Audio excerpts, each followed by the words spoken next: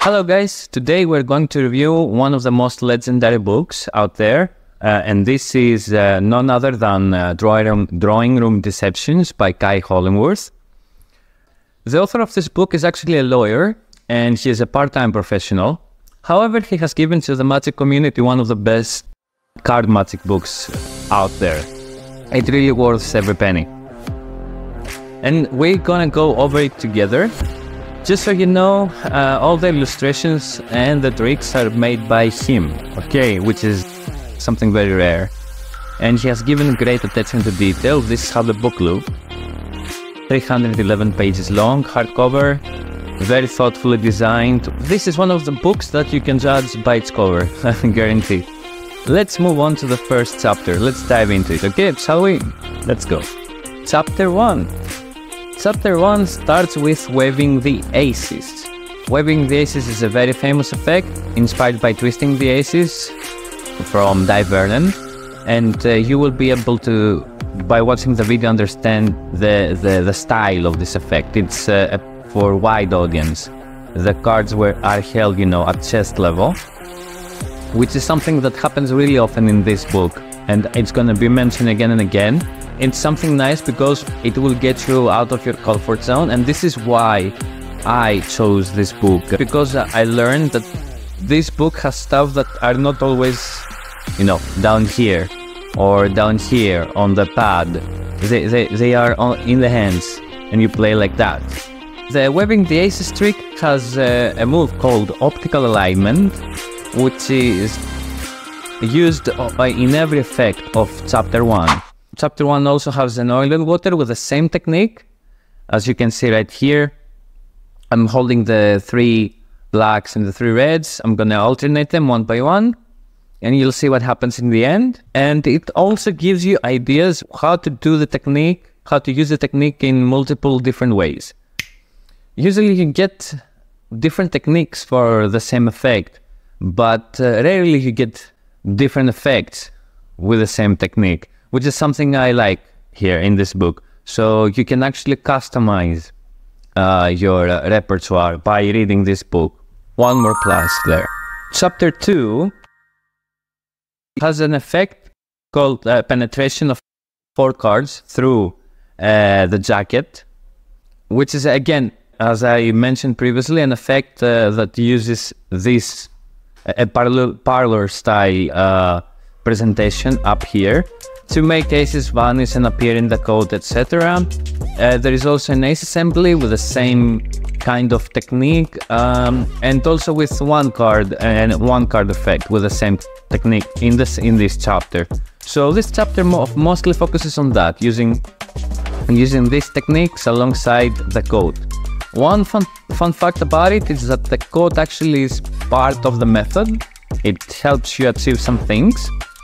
Sleight of code put it this way, alongside sleight of hand, which is very interesting. Again, one more thing that will get you out of your comfort zone. If you have used to always being playing with the cards on the table or just here, that's another thing that will get you out. And that's one of the reasons I also bought the book. So this one, along with waving the aces that I mentioned earlier, are the two most famous tricks in the book, and also one that we're going to see a bit later. But every trick in this book is uh, gold, original, which is rare. Okay, I highly recommend it. Now, chapter three. Chapter three is Chapter 3 is one uh, weird one, something that I've never seen before, only when I first acquired the book four years ago. This chapter in it involves a paperclip. Okay, using a paperclip to hold uh, out the cards that you want, or a double, or whatever that may be. Very smart, smartly routined to let spectators shuffle and then retain the top, the, the aces, or for example, uh, if you have a trick like a homing card, then you will be able to um, use a double card without any suspicion of it being a double card. Of course, you can do that with rough and smooth, but um, a paperclip makes it a bit more um, examinable because you, you, you know you left with the cards at the end at the end at any point. So Yeah, I think it's a very fine idea, and it has a lot of stuff that you can do with that paper with a paperclip, combining it with cards without the audience knowing that you're actually having a paperclip on you. Yeah, it has an ace assembly regarding uh, with, with the with the help of the paperclip. Crazy, crazy stuff. Now we don't have a chapter four. We continue with a chapter that is called the interval.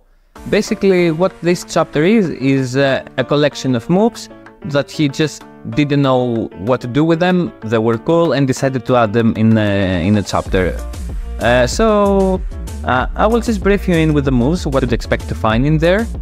For example, we have a very beautiful shift or a pass, however you prefer to call it, and it has uh, amazingly good angles. What you pretend to be doing is uh, squaring the deck. That's it.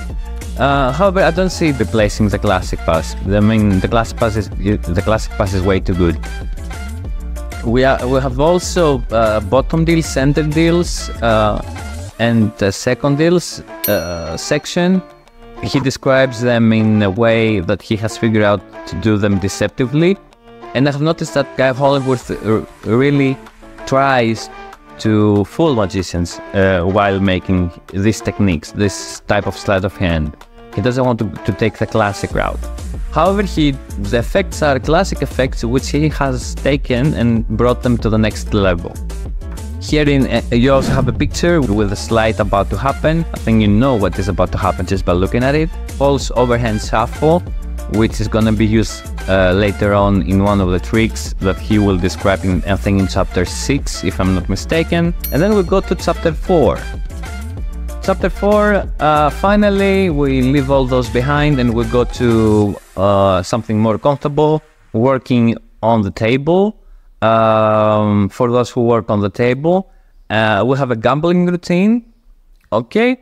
We also have a gambling demonstration of a color separation, which is, I think, my, fav- my, my favorite trick here in this book. It will be o- over here if you want to see uh, the routine. You're gonna deal reds and blacks reds and blacks from a shuffle deck. On the reds on one pile, blacks on the other pile.